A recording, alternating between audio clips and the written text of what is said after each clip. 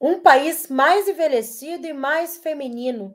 Esse é o Brasil revelado pelos novos dados do censo de 2022 sobre a idade e o sexo da população, divulgados pelo Instituto Brasileiro de Geografia e Estatística, o IBGE. O censo 2022 ainda aponta que a população feminina está aumentando de forma constante no país nas últimas décadas. Hoje, as mulheres são 51,5% dos 203 milhões de brasileiros. Há cerca de 104,5 milhões de mulheres e 98,5 milhões de homens, uma diferença de 6 milhões. Apesar de o censo indicar a maior presença feminina, índices ainda apontam que mulheres ainda são vítimas do sexismo, como indica a ministra das Mulheres Aparecida Gonçalves, que ressalta, através de dados, a questão da vulnerabilidade financeira como agravante para o gênero. Dentro da questão que para nós também é colocada como desafio do mandato do Ministério das Mulheres e com ordem de prioridade do presidente Lula, Luiz Inácio Lula da Silva, nós temos a questão da desigualdade de gênero e a misoginia no Brasil. Na questão de renda, nós temos 40% das mulheres que são ocupadas, elas recebem até um salário mínimo. Até um salário mínimo. E nós trabalhamos que cada vez que o salário mínimo valoriza, nós estamos valorizando e nós estamos empoderando as mulheres. Esse é o dado que esta casa precisa observar e nós precisamos observar. Entre as mulheres negras, o percentual é de 49%. Nós podemos puxar para 50%. Metade das mulheres que recebem o salário mínimo são as mulheres negras. É, a cada 10 mulheres ocupadas, 7 recebem dois salários mínimos. Essa é a realidade das mulheres na questão da igualdade salarial. Essa é a realidade das mulheres onde elas estão. E é por isso que a questão da valorização do salário mínimo, das políticas que são implantadas nas questões econômicas, para nós, para as mulheres, é fundamental. Elas não estão separadas da realidade de um total colocado. E dentro da questão do desemprego, da informalidade, as mulheres são 54% das pessoas desocupadas no país.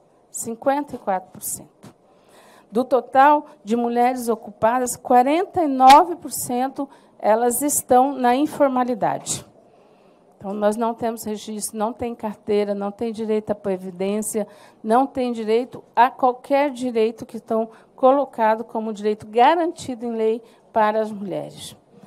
Portanto, o desafio, efetivamente, da questão da igualdade de gênero está posta e com urgência. Nós não temos tempo para discutir outras coisas. Nós precisamos colocar na nossa pauta, fazer com que as mulheres vivam e vivam com uma igualdade de gênero e uma igualdade salarial. Seguindo o caminho de sanar a lacuna da desigualdade salarial, o governo Lula expediu um decreto que estabelece a obrigatoriedade de igualdade salarial entre mulheres e homens. O decreto trata da transparência, além de critérios remuneratórios entre mulheres e homens que exercem trabalho de igual valor ou atuam na mesma função. As medidas se aplicam às empresas com 100 ou mais empregados que tenham sede, filial ou representação no Brasil.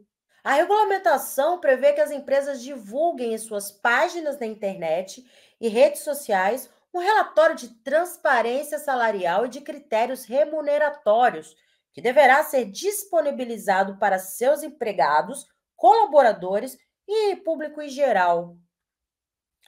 Apesar do importante avanço na fomentação de políticas públicas do governo federal, Beatriz Aragão, ela que é diretora da União Brasileira de Mulheres, ressalta que, para além do combate à desigualdade, outras lacunas também contribuem para tal situação de vulnerabilidade e precisam ser sanadas urgentemente.